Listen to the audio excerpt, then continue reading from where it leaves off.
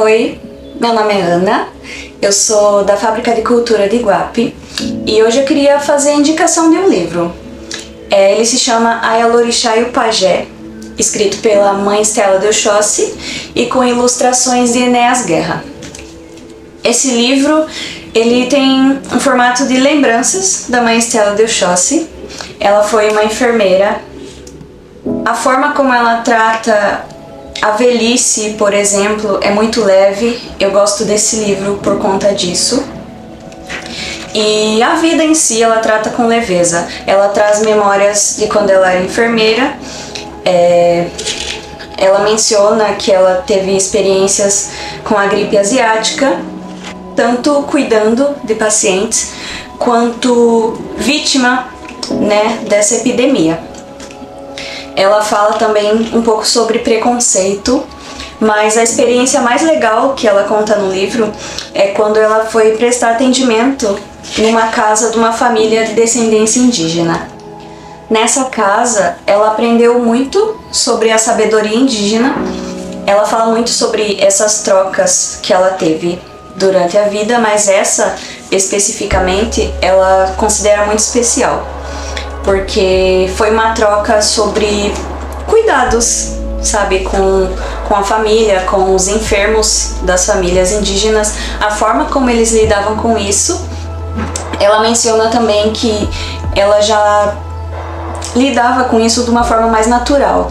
Por ter sido iniciada no candomblé aos 14 anos, ela aprendeu muito sobre respeitar, admirar e até reverenciar outras, outras sabedorias, outras culturas, outros costumes.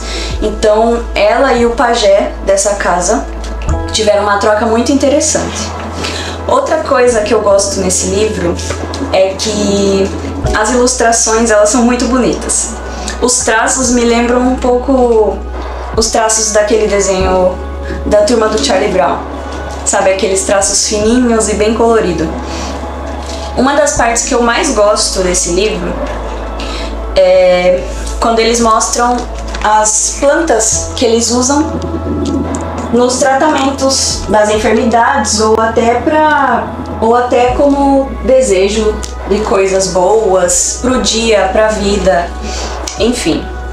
Tem algumas que são bem conhecidas, tipo a espada de São Jorge, e outras não tão conhecidas assim. Tem duas páginas só explicando tanto os nomes quanto para que eles utilizam essas plantas. Uma das coisas que eu gostei muito nesse livro também é a forma como ela fala sobre preconceito que na infância, apesar de ter frequentado ambientes é, completamente tomados por pessoas brancas, ela não sentia tanto isso por conta da sua postura. Ela até diz que na escola ela é, ocupava um lugar de liderança entre as outras crianças brancas.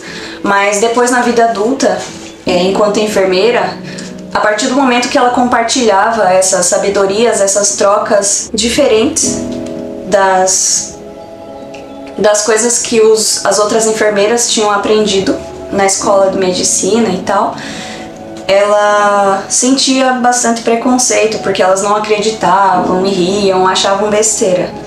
Então isso é o que mais incomodava ela nesse sentido. Ela fala também que depois de 33 anos é, cuidando de pacientes através da, da medicina tradicional, ela sentiu o chamado para cuidar das pessoas num sentido mais espiritual.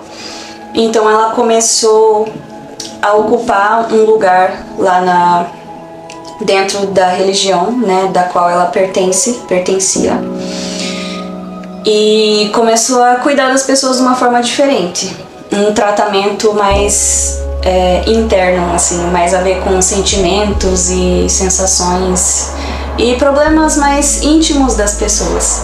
Eu achei isso bem legal. Eu espero que vocês tenham gostado. Esse livro ele tem na biblioteca da Fábrica de Cultura de Guape, está disponível. Ele é um livro infanto-juvenil apesar de ser muito interessante para qualquer faixa etária. E é isso.